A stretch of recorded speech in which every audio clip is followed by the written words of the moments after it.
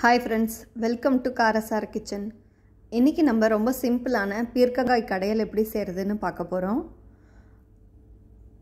ஐம்பது கிராம் அளவுக்கு நான் பாசிப்பருப்பு எடுத்திருக்கேன்.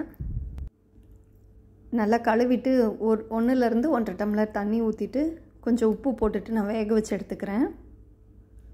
மூடி போட்டு வேக வச்சிடலாம்.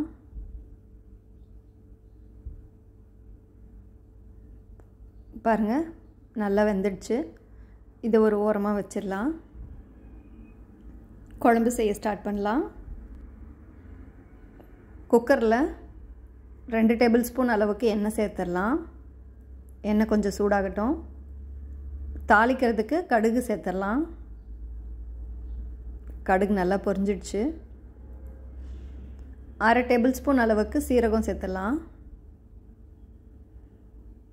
சீரகமும் நல்லா பொரிஞ்சிடுச்சு. ஒரு பெரிய வெங்காயம் கட் பண்ணி வச்சுருக்கேன். அதையும் சேர்த்துடலாம். கொஞ்சம் வெங்காயம் வதங்கட்டும். கோல்டன் ப்ரௌன் ஆகட்டும்.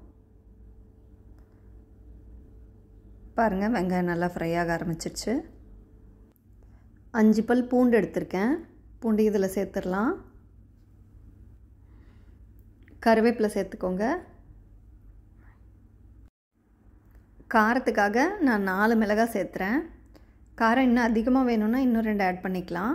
இது போதுமானதாக இருக்கும் காரத்துக்கு. நல்லா வதங்கிடுச்சு.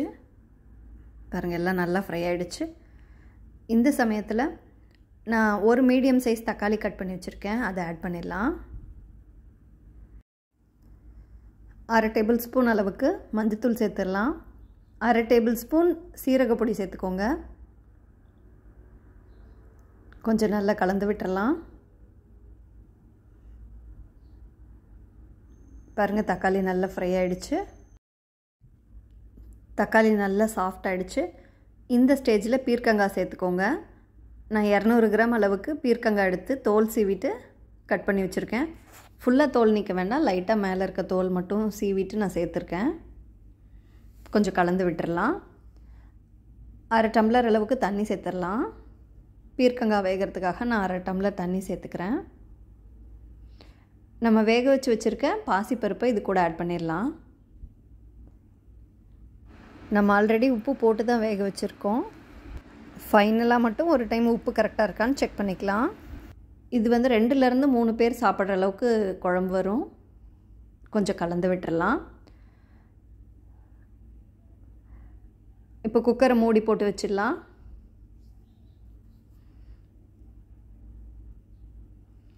சீக்கிரமாக ரெடி பண்ணுங்கிறதுனால நான் குக்கரில் பண்ணுறேன்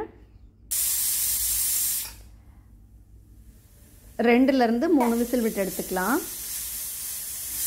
பீர்க்கங்காய் ரொம்ப சீக்கிரமாக வெந்துடும். மூணு விசில் இதுக்கு வந்து போதுமானது.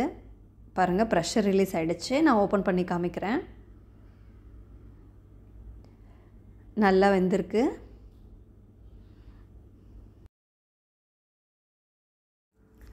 கொஞ்சம் கொத்தமல்லி இலை சேர்த்துடலாம். மத்து வச்சு நல்லா கடைஞ்சி எடுத்துக்கலாம். ரொம்ப கடையணும்னு அவசியம் இல்லை. ஆல்ரெடி எல்லாம் நல்லா வெந்திருக்கு. பாருங்கள் சூப்பரான பீர்க்கங்காய் கடையல் இப்போது ரெடி ஆயிடுச்சு. இந்த பீர்க்கங்காய் கடையல் சாதம் இட்லி தோசை எல்லாத்துக்குமே ரொம்ப சூப்பரான காம்பினேஷன் கண்டிப்பாக ட்ரை பண்ணுங்கள் இந்த வீடியோ பிடிச்சிருந்தா நம்ம சேனலை சப்ஸ்கிரைப் பண்ணுங்கள் லைக் பண்ணுங்கள் உங்கள் ஃப்ரெண்ட்ஸ்க்கும் ஷேர் பண்ணுங்கள் தேங்க்யூ தேங்க்ஸ் ஃபார் வாட்சிங்